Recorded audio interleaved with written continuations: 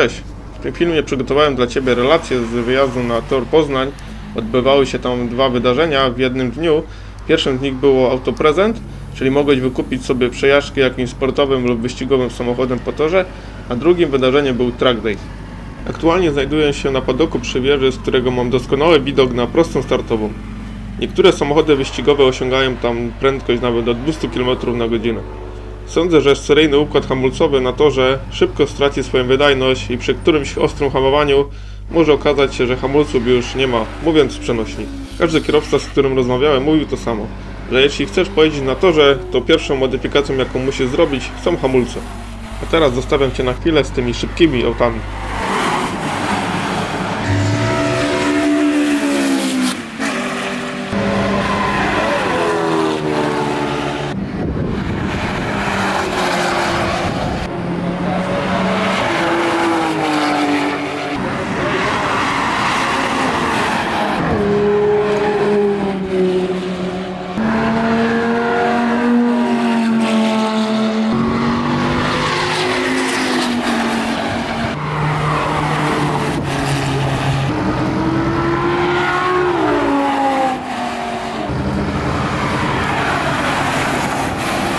Zejściu z padoku udałem się na plac, gdzie kierowcy oczekują na kolejną sesję wyścigów.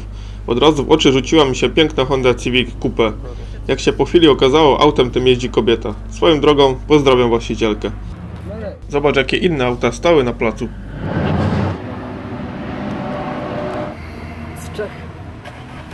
No to jest niskie.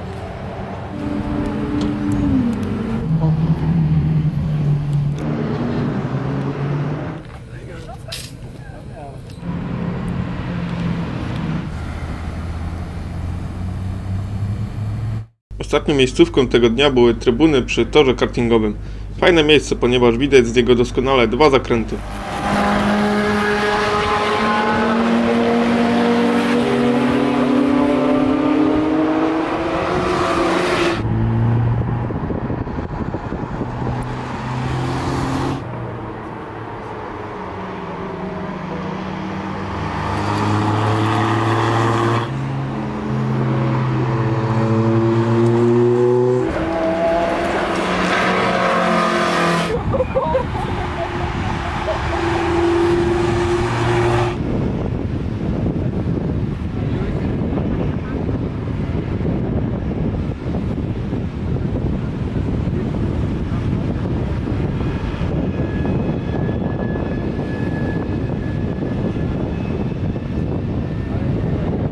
Zakończenie mojego wyjazdu poszedłem sprawdzić, co dzieje się przy torze kartingowym, gdzie odbywało się wydarzenie Autoprezent.